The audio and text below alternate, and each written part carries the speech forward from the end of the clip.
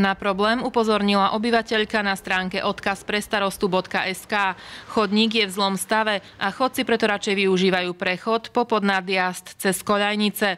Ohrozujú tým svoju bezpečnosť a dopúšťajú sa priestupku, za ktorý im polícia môže uložiť pokutu. Nám by nerobilo problém ísť vrchom, cesta je časovo a aj dĺžkou zhruba rovnaká, ale chcem sa spýtať, či niekto kontroluje túto časť. Chodník je rozbitý, na plechy, čo zakrývajú neviem čo, sa bojíme stúpiť. Schody, kade by sme mali ísť, neboli očistené hádam niekoľko rokov a to nehovorím o tom, že na konci chodníka nie je priechod, kade by sme prešli na druhú stranu.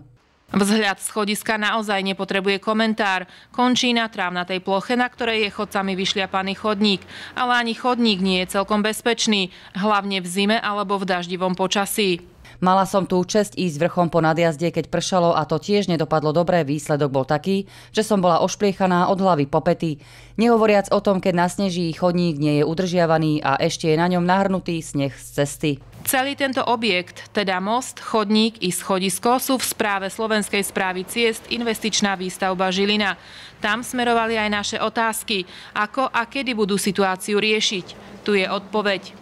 Schodisko aj chodník sú súčasťou mostného objektu a v dohľadnej dobe zabezpečíme vyčistenie schodiska a opravu platní v chodníku na moste.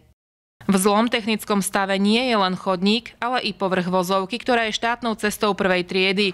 Je preto na mieste tiež otázka, či sa v dohľadnej dobe dočkáme rekonštrukcie tej cesty. V súčasnosti uvedený mostný objekt nie je zaradený v pláne oprav. V roku 2014 začne oprava mostného objektu 64 067, most pri krížovatke riadenej cestnou svetelnou signalizáciou. Na opravu celého nadjazdu si teda budeme musieť počkať. Chodcom využívajúcim chodník na ňom nezostáva nič iné, ako obrniť sa trpezlivosťou a veriť, že dôjde aspoň k čiastočnej náprave.